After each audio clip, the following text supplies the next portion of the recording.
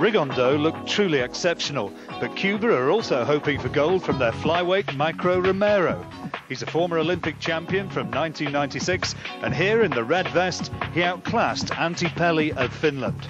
The Cubans were always expected to be the outstanding nation in Belfast, and so far they're looking very strong.